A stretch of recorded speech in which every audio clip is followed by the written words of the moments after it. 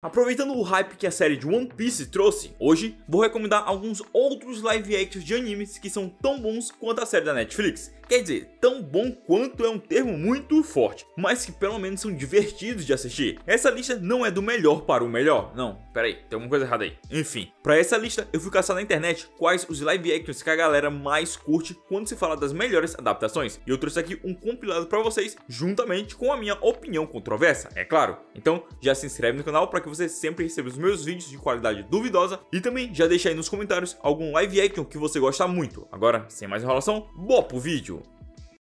Full Metal Alchemist, A Vingança de Scar. Eu vou admitir, esse começo pode ser um pouco contraditório. Full Metal Alchemist é meu anime favorito de todos os tempos e não abro margem para discutir isso. E a trilogia do live action desse anime é mediana, mas o segundo filme, chamado A Vingança de Scar, lançado em 2022, eu achei muito bom comparado com os outros dois filmes, é claro. O terceiro me desapontou por ter sido muito rushado e o primeiro na verdade, o primeiro eu nem lembro dele direito. Esse segundo filme tenta ser o mais fiel possível com a história original, claro que adaptando para o formato de filme, tirando partes não tão essenciais e alterando algumas coisas para deixar a história fechada para a trama que eles estão tentando fazer. Esse filme introduz o Scar como principal antagonista e vai até o momento em que o Ed, Ling e Inveja são engolidos pelo Gula. O filme traz vários momentos retirados diretamente do mangá e a caracterização dos personagens está bem fiel também, tirando um personagem ou outro ali que foi meio estranho, mas no geral é aceitável. Acho que o maior problema desse filme mesmo é o CGI que é muito ruim e fica perceptível o uso em todas as cenas. Mas se relevar essa parte, acho que é um filme divertido de se assistir. Provavelmente esse é meu lado de fã falando mais alto. Mas vai lá, dá uma chance e depois me diz aqui se o filme é legalzinho ou se é muito ruim mesmo. Eduard Elric o famoso alquimista de aço. Erased. Essa série foi lançada em 2017 e é baseada no mangá barra anime de mesmo nome. A história gira em torno de Satoru Fujinuma, que trabalha como entregador ao mesmo tempo que tenta realizar o seu sonho de publicar um mangá de autoria própria. Porém, Fujinuma não é uma pessoa qualquer. Ele tem uma habilidade especial que permite que ele volte de 1 a 5 minutos no tempo toda vez que algo de ruim está perto de acontecer. É como se ele fosse forçado a salvar alguém de algum perigo iminente. Apesar de ser uma premissa relativamente simples, vamos dizer assim, Erased vai muito além disso quando Fujinuma possa reviver a sua infância, onde uma série de sequestros e assassinatos ocorreram quando ele ainda estava na escola, ao mesmo tempo que ele vai precisar descobrir quem foi o responsável por assassinar sua mãe no futuro. A série foi adaptada em 12 episódios, assim como o anime. Erased é uma história emocionante e cativante que usa esse elemento de viagem no tempo para construir uma trama enigmática de suspense investigativo. O fato de acompanharmos Fujinuma em grande parte no período da sua infância tentando salvar seus colegas da escola deixa tudo mais pesado, já que apesar dele ter a consciência de que viajou no tempo, ele ainda é uma criança, o que torna toda a situação mais tensa e perigosa. A série conta com uma mudança no final, então para quem só assistiu o anime, acho que vale a pena assistir a série para conferir esse novo desfecho para a história. E Resist também conta com um filme live action lançado em 2016, porém esse eu não cheguei a assistir.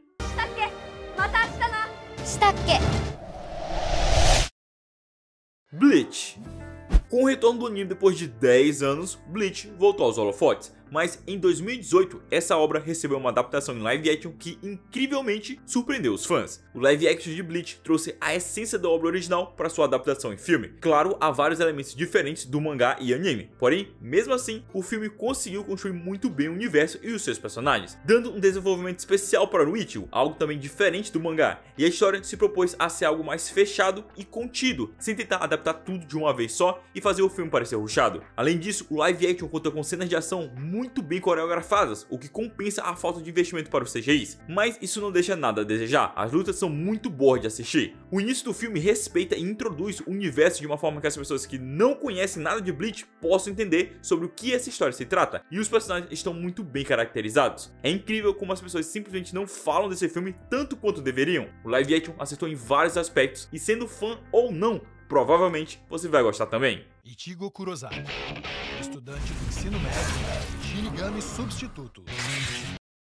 Alita Battle Angel Não vou mentir, eu não conhecia a Alita antes de ver o filme lá em 2019. Pra falar a verdade, eu nem sabia que era uma adaptação de mangá naquela época, mas claro que com o sucesso do filme, tanto eu quanto muitas pessoas que eu tenho certeza que também não conheciam, passaram a conhecer essa obra. Eu nunca li o mangá, eu dei uma olhada uma vez, mas nunca cheguei a ler mesmo. Então eu não tenho como comparar os aspectos que se assemelham ou se diferem entre as duas produções. Porém, Alita é um filme muito bom, pelo menos na minha visão de quem não conhece a fundo a obra original. A história do filme se passa na cidade de Iron, localizado abaixo da cidade flutuante de Zalem. Alita é uma ciborgue, androide, robô? Eu não sei a diferença, mas Alita é encontrada por um cientista que repara o seu corpo. Como Alita está sem memórias, o filme embarca nessa jornada de autodescobrimento. Acredito que os maiores destaques de Alita são o uso do CGI, que é muito bom, até porque o personagem principal é todo em CGI, além das cenas de ação, que também são muito boas, e também o desenvolvimento da personagem em descobrir mais sobre si mesmo, ao mesmo tempo que tenta sobreviver aos perigos da Iron City. Eu acredito que o filme seja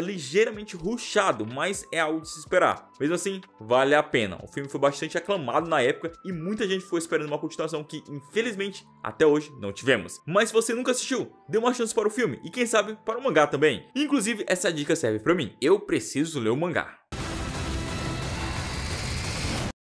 Samurai X. Esse daqui não é só um filme, mas toda uma obra adaptada para live action que é considerada por muitos até hoje a melhor adaptação de anime barra mangá. A história gira em torno de Kenshin Himura, um espadachim habilidoso que costumava ser conhecido como Batosai durante a Revolução Ishin, quando ele lutou ao lado dos imperialistas contra o regime shogunato. No entanto, após a guerra, Kenshin jurou nunca mais matar e carrega uma espada invertida como símbolo de sua determinação em não matar novamente. O primeiro filme foi lançado em 2012 e se chama Horoni Kenshin, também conhecido como Samurai X. Ele adapta o início da história, o arco de Tóquio. O filme foi muito bem aceito pelos fãs por respeitar em vários aspectos a história original. E isso rendeu uma sequência em 2014 chamada O Inferno de Kyoto, que continua a história adaptando parte do arco de Kyoto. Ainda em 2014, uma terceira parte foi lançada chamada O Fim de uma Lenda. O terceiro filme conclui o arco de Kyoto e dá um fechamento satisfatório para essa trilogia que foi muito bem recebida pelos fãs, contendo cenas de lutas memoráveis, ótimo desenvolvimento de personagens, incluindo os secundários que tiveram resoluções para os seus arcos de história, exploração de temas morais e éticos e, claro, sempre respeitando a obra original. Tudo isso fez com que a trilogia do live action de Samurai X fosse aclamada pelos fãs, só que não para por aqui, porque em 2021 Samurai X recebeu mais duas adaptações, chamadas O Final e O Começo.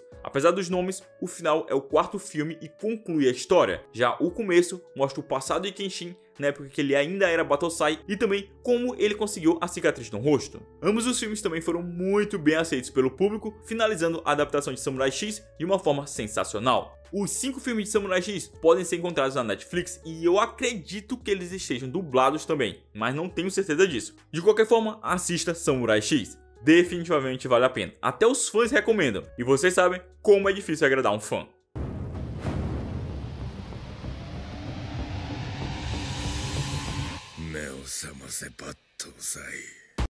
Menções honrosas. Vou colocar nas menções honrosas alguns filmes que eu não assisti, mas eu vi gente falando que é interessante. Então, esses daqui vão ser só para vocês terem mais opções e quem sabe curtir também. Jojo Bizarre Adventure Diamond is Unbreakable Chapter 1. E não me dá peste. Eu nunca vi esse filme, apesar de já ter visto algumas cenas na internet e eu até gostei do que eu vi. O filme adapta o início da parte 4 do mangá de Jojo, que traz Higashikata Josuke como protagonista. Infelizmente, esse live action foi planejado para ser o primeiro de uma franquia de filmes que não deu muito certo, já que até hoje não tivemos uma continuação e esse filme é de 2017. Mas talvez você curta. Dragon Ball Evolution, não, não, brincadeira. Alice in Borderland. Essa série aparecia por mim toda hora no catálogo da Netflix e eu não fazia ideia que era uma adaptação de um mangá lançado em 2010. Alice in Borderland é uma série lançada na Netflix em 2020 e contém duas temporadas. A história gira em torno de um grupo de jovens que são misteriosamente transportados para uma versão alternativa da cidade de Tóquio, onde eles precisarão jogar uma série de jogos inspirados em cartas de baralho para sobreviver. Eu acredito que isso seja a sinopse, porque eu realmente não manjo nada dessa série e tive que caçar essa sinopse em algum lugar. Mas eu já vi muita gente falando bem da série, então eu acho que vale a pena conferir. Inclusive é o que eu vou fazer já já. Como o vídeo não ficou do tamanho que eu queria, eu vou adicionar mais 5 live action aqui. Só que dessa vez serão adaptações de jogos que realmente vale a pena conferir. Ou não, porque a gente sabe que gosto é que nem braço. Resident Evil, o hóspede maldito. Contra o meu melhor julgamento, eu colocarei este filme na lista. E não, eu não gosto dele. Porém, não se faz uma franquia de 6 filmes durante mais de 10 anos se não tiver algo de bom ali no meio. Eu sei que o primeiro filme muita gente gostou, e eu admito que esse filme tem o seu charme, mas como um fã de longa data de Resident Evil, eu não consigo aceitar o que, que os outros filmes se tornaram, descaracterizando não só o universo dos jogos, como também todos os personagens, só para fazer a atriz principal brilhar porque ela é mulher do diretor. Mas enfim, tem gente que curte os filmes, principalmente os que não conhecem os jogos. Então, talvez se você conhece pouco ou nada de Resident Evil, possa gostar dos filmes também. Como eu disse, pelo menos esse primeiro tem o seu charme e vale a pena conferir. Os outros. É, né?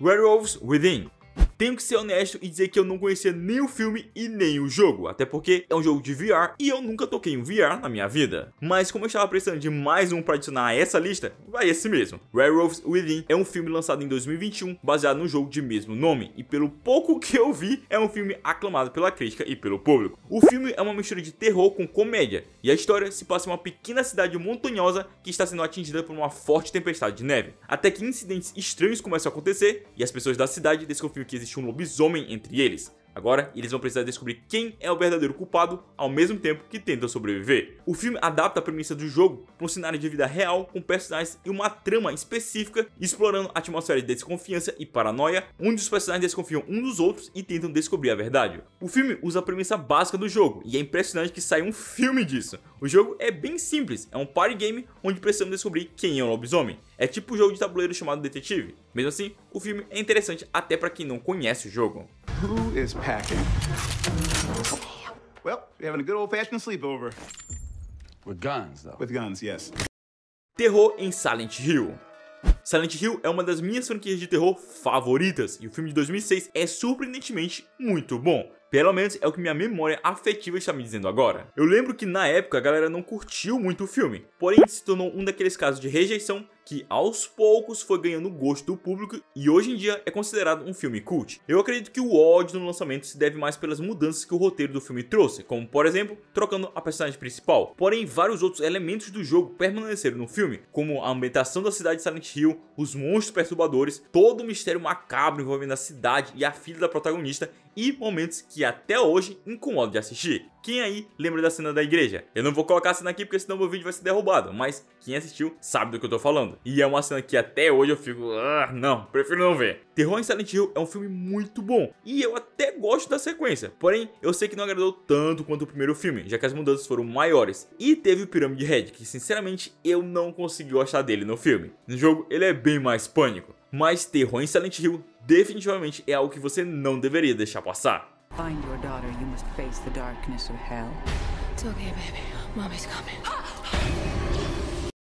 Detention talvez eu tenha uma pequena queda pelo gênero de terror. Na verdade, é o meu gênero favorito. Por isso, eu quis colocar aqui na lista a série Detention, baseada no jogo de mesmo nome. Na série, acompanhamos a colegial Liu Yun, que foi transferida para uma nova escola, onde ela se depara com elementos sobrenaturais. À medida que a história da série avança, os elementos de terror são misturados com tramas mais elaboradas relacionadas ao passado da escola, repressão política, bullying, assédio, abuso familiar, problemas psicológicos e vários outros temas que ajudam a construir a ambientação dessa série. E por causa disso, o enredo tem um ritmo mais lento, justamente para que todos esses assuntos sejam abordados de uma forma mais aprofundada. A série se passa 30 anos depois dos eventos do jogo, porém, ela consegue conectar as duas histórias de forma que aqueles que não jogaram não vão se sentir perdidos na trama e serão capazes de aproveitar a história da mesma forma que aqueles que jogaram. Essa série é uma produção de Taiwan, se não me engano, e não fica para trás comparado às outras produções da Netflix. Assim, essa série tá na Netflix, e se você curte um terror mais psicológico, dá uma conferida, vale a pena. 还是害怕想起来。Mortal Kombat de 1995. Apesar de recentemente termos recebido uma nova adaptação do jogo Mortal Kombat, eu realmente não consegui gostar dela. Agora, o filme de 1995, esse sim é dos bons. Eu lembro de ter assistido ele quando era criança e nossa, como eu gostei desse filme. Mesmo com baixo orçamento e várias mudanças no enredo original, o filme ainda é muito divertido de assistir até nos dias de hoje. Os atores levaram tão a sério esse negócio de Mortal Kombat que teve gente que deslocou o ombro e até costelas quebradas rolaram nas gravações. Os caras realmente queriam trazer a essência do jogo para o filme. Não tinha como dar errado. E sem falar que o filme foi responsável por trazer essa música. Não tem como. Esse filme é muito bom, na moral. Infelizmente, a continuação chamada Mortal Kombat Aniquilação foi uma bosta. E o filme de 2021 não conseguiu ser tão popular. Porém, parece que teremos uma continuação desse filme de 2021. Então, pode ser que as coisas melhorem. Mas o de 1995 ainda reina superior.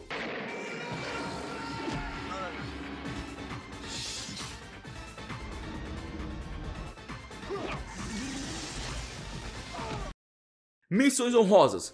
Como eu queria dar espaço para outros filmes na lista, eu deixei de fora alguns de propósito. Mas para não ficar faltando, vou acrescentar como menção honrosa. Sonic 1 e 2. Eu sou muito fã de Sonic e os dois filmes são incríveis. Mesmo tendo como foco o público infantil, quem é fã mais velho do Ouriço vai curtir os filmes. A Paramount fez um ótimo trabalho nas duas adaptações, mesmo com alterações na história e acrescentando novos personagens que para mim são descartáveis, que no caso são os humanos. Os dois filmes do Ouriço Azul são incrivelmente bons. O live action Detetive Pikachu foi uma grande surpresa. O filme conseguiu trazer um pouco Pokémon de forma mais realista, ao mesmo tempo que não ficaram estranhos. A história acompanha Tim, um jovem que sonhava ser treinador Pokémon, mas nunca conseguiu capturar um, até que um dia ele encontra um Pikachu falante e juntos eles vão investigar o mistério por trás do sumiço do pai do Tim. Detetive Pikachu consegue capturar muito bem a essência de um mundo em que Pokémon existem de verdade, apesar da história ser diferente do anime ou dos jogos principais, até porque o filme é baseado no jogo Detetive Pikachu. Ainda assim, é um filme muito bom e mostra que sempre vão existir abordagens diferentes para essa franquia de monstrinhos de bolso.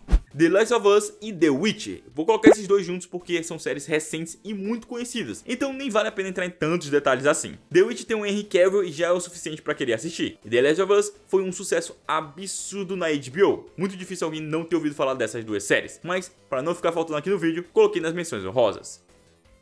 E é isso, o que vocês acharam dessa lista? Quais são as suas recomendações? Deixe aí nos comentários live actions que vocês gostam e não se esqueça de compartilhar o vídeo, porque isso ajuda demais o YouTube a reconhecer que o meu canal tem relevância. E também se inscreva para poder acompanhar meus conteúdos. Valeu por ter assistido até aqui e nos vemos no próximo vídeo. Se cuidem!